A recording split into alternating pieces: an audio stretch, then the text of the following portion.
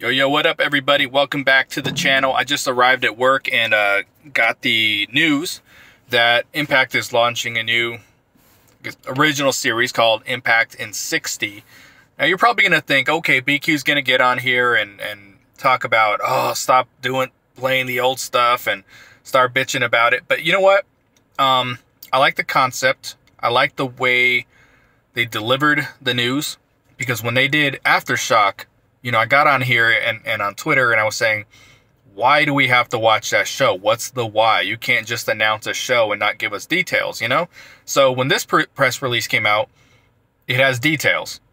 It lets us know that it's, you know, obviously based on the library, which is usually not something I'm I'm really big on, but it's based on the library and they're you know they're going to highlight certain stars, certain titles, certain factions, certain types of matches, and that makes so much more sense than just giving us random TNA matches. You know what I mean?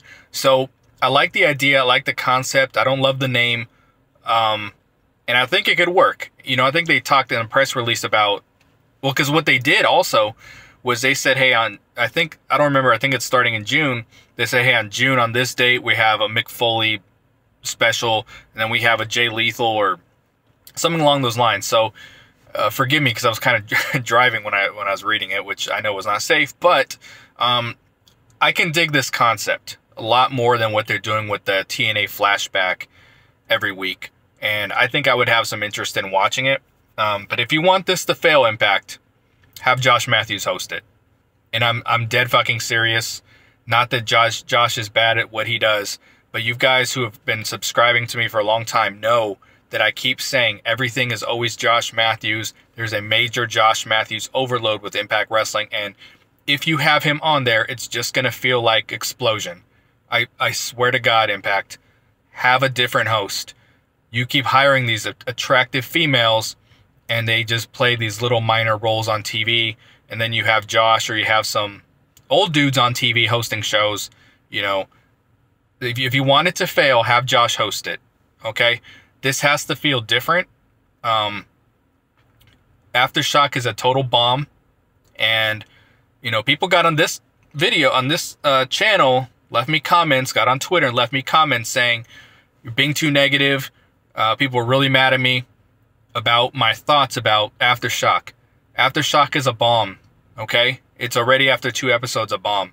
Um, if you go back to the first night of AEW on TV, first night of NXT, um, the first week of the XFL, the first final deletion, all eyes are always on episode number one. That's that's always going to be your peak viewership unless something insane happens down the line. And right now, episode one of Aftershock, after 7,000 viewers on YouTube the first night, is at 12,000 now. After ep- episode two is at 4,000. So it already dropped 3,000 from yesterday. So Aftershock's a bomb, but uh, Impact in 60, I think, is actually a more creative way of delivering the TNA library.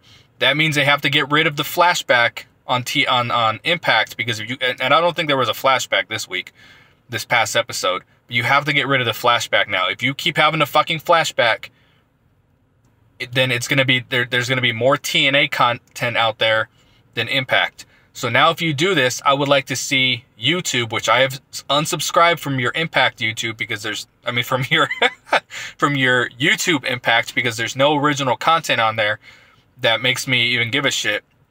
Um, this is an opportunity now to experiment on there with some original content based off the, the current roster. And there's simple things that you can do. So yes, I would have liked to see them come with a more original concept um, that's you know, based off what they're doing now.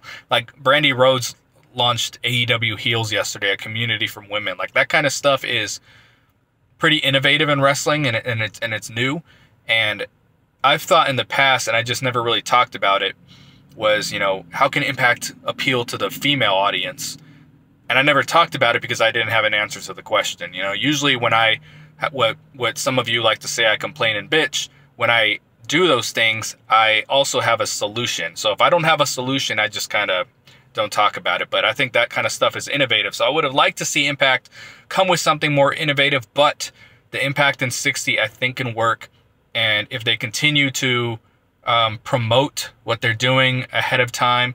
And what I don't want them to do is mirror what WWE and AEW are doing, like they do with YouTube and the flashback, where you know uh, Matt Hardy's in the news, so let's do a Matt Hardy match, or um, you know who who is it they did this past week? I don't remember, but that kind of shit. Don't do that. Like give us give us something other than the Joes and the and the AJ. Like Jay Lethal is a great star to build a show around. You know because that's not someone they aside from the shit with Ric Flair, that's not someone that they post a bunch of content about.